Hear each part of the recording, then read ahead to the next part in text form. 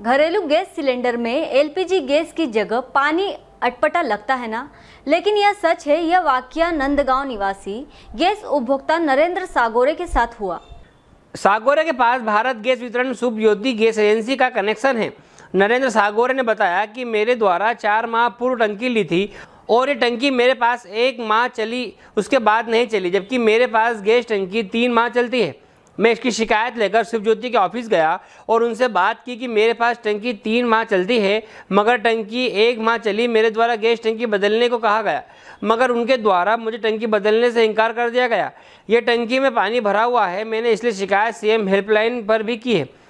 मगर आज तक कोई कार्रवाई नहीं हुई। गैस एजेंसी में काम करने वाले वर्कर ने बताया कि हमारे द्वारा गैस की टंकी जाँच करके दी जाती है। इधर जिला आपूर्ति अधिकारी से चर्चा की गई तो आपूर्ति अधिकारी द्वारा कहा गया कि हमें ऐसी कोई शिकायत नहीं मिली। मीडिया द्वारा मुझे पता चला है मैं इसकी जाँच करवाऊँगी। शिकायतकर्ता से हम संपर्क करेंगे। मेरे नौकरी के कार्यकाल में पहली घटना है गैस सिलेंडर पानी पाया जाना। मैं इस मामले की जाँच कराऊँगी। खरगोन से अजय तिवारी की रिपोर्ट। ये मैंने टंकी ली थी चार महीने पहले। हाँ।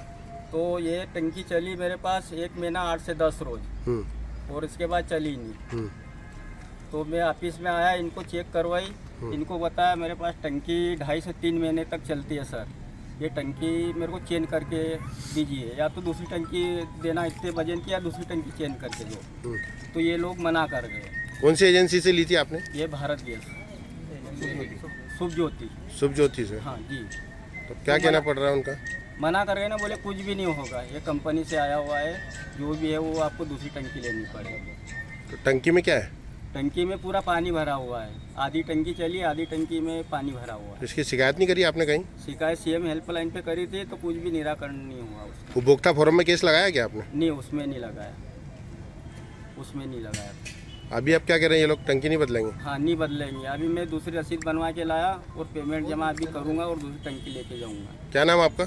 मेरा नाम नरेंद्र सागोरी नंदगांव रोड। ये जानकारी मुझे अभी आपने बताई है। मेरे समक्ष में ऐसी कोई शिकायत ना तो शिकायतकर्ता के द्वारा आई है अभी तक और ना ही किसी अन्य माध्यम से आई है। चूँकि जैसा आप बता रहे हैं हम इसकी जाँच कर लेते हैं। जो भी शिकायत करता है उससे संपर्क स्थापित कर लेते हैं। मेरे भी नौकरी के कार्यकाल में ये ऐसी पहली घटना है कि गैस सिलेंडर में पानी पाया जाना। तो हाँ ये जाँच का विषय है। हमारे जो क्षेत्रीय कनिष्ठ के अधिकारी हैं मैं उनको भेज करके इस मामले की जाँच करवा पिछले चार महीने से टंकी भी नहीं चेंज कर रहे ग्राहक भी परेशान हो रहा है। मैं जाँच करवा लेती हूँ ये कि ये मामला क्या है। बिना जाँच के इस बारे में कुछ भी कहना अभी थोड़ी जल्दबाजी होगी।